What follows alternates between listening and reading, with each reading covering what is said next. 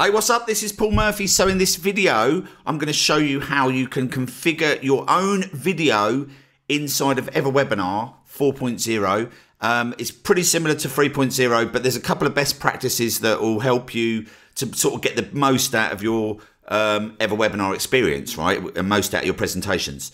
So there's a couple of options you can do. You can do your own MP4 file, you can do YouTube or Vimeo Pro. Now I'm not going to cover Vimeo Pro because that's kind of like 30, 40 bucks a month. That's actually quite a premium feature and it's not really needed because you can use YouTube, but you can also use Amazon S3, which is a super cheap option. And um, Amazon S3 is what used to like be streamed from Netflix. I don't know if they still um, stream it from Amazon S3. So it's pretty robust, it's pretty good, and it works really well.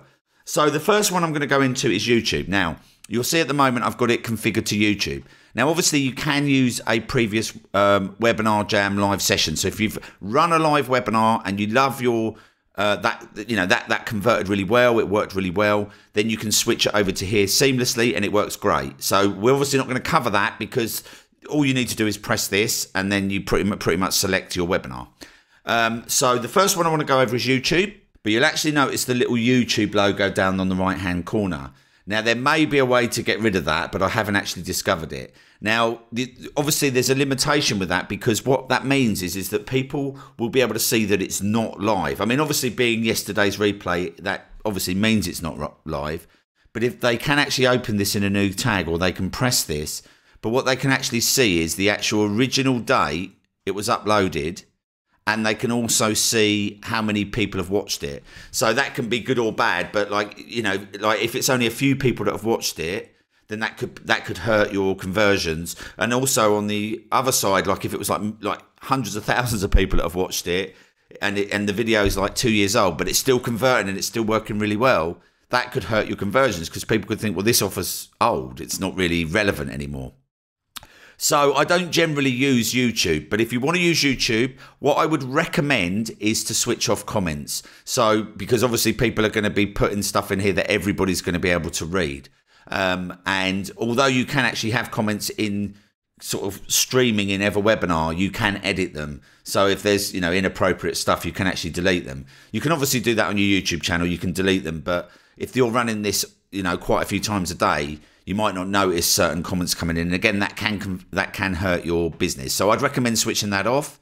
And um, but I wouldn't recommend using YouTube. What I would actually recommend is using Amazon S3. Now, Amazon S3, you, I think you can get like free for a year or free for a few months.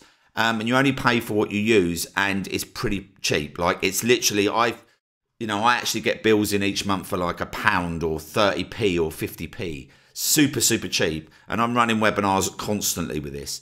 So this is pretty good. And like I say, it's pretty robust. It is one of the like one of the more robust services. Um, so you would obviously come to Amazon, just put in Amazon S3 on Google, um, and you just create your free account. And this is this is what we're going to use. Okay. And you've got five gig of storage data. Now, if you're running lots of different webinars, I've got a little ninja trick I'm going to show you um, on and also how you can actually reduce the, the, the size of your video file without it being um, compromised. So what you can actually do is I actually use ScreenFlow. So when I render my videos on ScreenFlow, they often come out like for like a two-hour presentation. If I actually come to my webinars here, you'll actually see that this one is the one I actually created yesterday, and this is 2.8 gig. So you can literally only put in one or two files for your five gig storage, and then you've got to kind of up your storage on Amazon. So what you can do here, okay, a little ninja trick, is you can upload it to YouTube, okay, and I've actually got one I need to do here now. I literally just uploaded this uh, today, and then once you you might have to wait about an hour, two hours for this to go to 1080p, okay, because you want the best quality. Um, when you first upload it, it will have 360p or something like that down here. So you do need to wait for YouTube to render it properly. YouTube will actually make it go live, but they but they are going to make it super high quality within a short space of time. It usually takes about two or three hours. So you will need to wait for that to happen. This one's done. I only actually uploaded this about an hour or so ago and it's already done. So I'm just going to do a refresh. So you'll actually see that this is now 1080p and this is pretty good quality. Now this was 2.8 gig when I uploaded it, But what I'm actually going to do is I'm actually going to download it from YouTube and upload the downloaded file to Amazon S3. Um, because what happens is when you download it from YouTube, you don't lose any quality whatsoever, but it actually reduces the file to like a tenth of the size. It's pretty, it's like it's incredible. Um, so what we do, how we do that is, um, it's pretty ninja. This, like you might not have seen this before, is you just go up to the URL at the top here, okay, and then where it goes www dot and then something YouTube, just put in SS, okay, and then it's going to open up this page here. And you'll see that it's got this with low quality. Now, it's not going to be low quality. It's actually going to be perfect. But they just say that because they're trying to sell you stuff. So obviously try not to click anything else that's going to give you too much uh, spam in your folder and send anything. So obviously just, uh, actually if you leave it for a few seconds, this seems to come up. But if not, you can just click that link and then we just click download now. And that's now done. So you'll actually see that this is the one we just downloaded you'll actually see that the file size is 323 megabytes versus this one here, which is 2.82 megabytes. So it's almost a tenth of the size, just over, maybe a fifteenth of the size. Now, the, the advantages of reducing it in size, obviously, you can use up more space in your Amazon because you usually get like five gig of data for your first uh, account, and then you can kind of upgrade. Um, so it means you can upload more files and run more files. But secondly, I believe it runs a bit smoother because it's a smaller file. Um, I have no evidence of that, but I just think it does. So I like to reduce the file size, and that's my sort of like ninja trick of doing it. So the next thing we want to do is we want to upload it. We want to get rid of all this spam that we've been sent, and then we want to upload it to uh, so that we can get rid of this. So we go to our um, Amazon uh, S3 account. Now I'm going to come out of here, and what you'll do is you'll obviously come to Amazon S3, you'll sign up, and then you'll come in here, and then you'll just need to create a bucket. So you just press this, and you just call it whatever you want, and it's just where you're going to hold everything. And then inside this bucket, we're going to upload this file. So I've uploaded it. Basically, this is the same file as this, but it's slightly. I've, made a replay version that's just removed one sentence just to make it so that it kind of makes sense on a replay. Um, and that's it. So we're going to upload that video, which which we just did, and then what you need to take note of here is we're going to go to documents, we're going to go to webinars, we're going to go reduce size, and it's this one here. So what we're going to do, just make a couple of changes while we're uploading this. Okay, we go to next. And what we need to do here is we need to untick this one because we don't want anyone to be able to change it but we do need to grant public access, okay? And it's going to come up with a massive warning, but that's fine.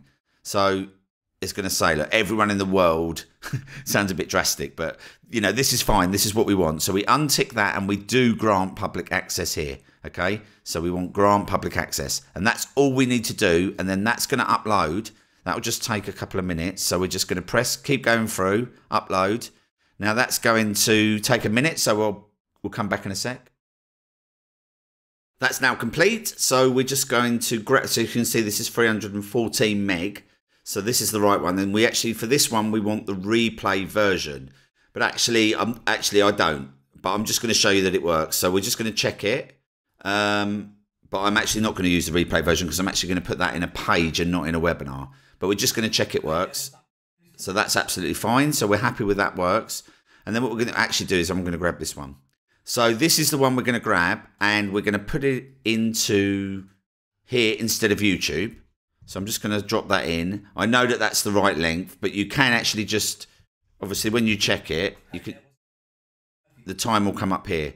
So you just need to make sure that that is obviously put in correctly here, just to make it all run perfectly. And I'm actually not going to configure this. We're just going to do this as a test. So we've got a landing page here. So when we register, we should be able to watch yesterday's replay straight away. There we go. And then we're just going to sign up.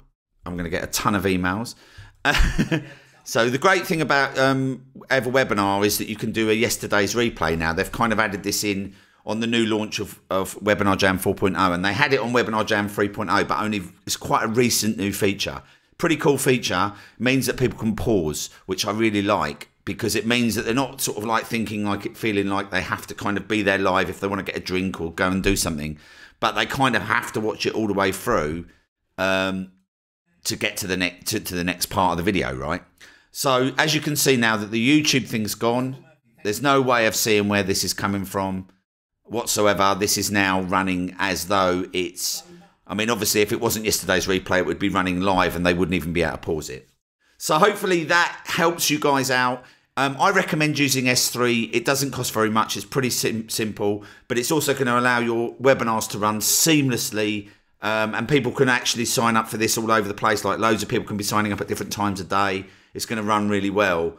And uh, yeah, but if not, if you're kind of that, if that's a bit too much for you, then obviously you can use the YouTube option. A lot of people have done that, and it works absolutely fine. So if you like my video, give me a thumbs up, uh, leave a comment down below, and I'll see you guys in the next video.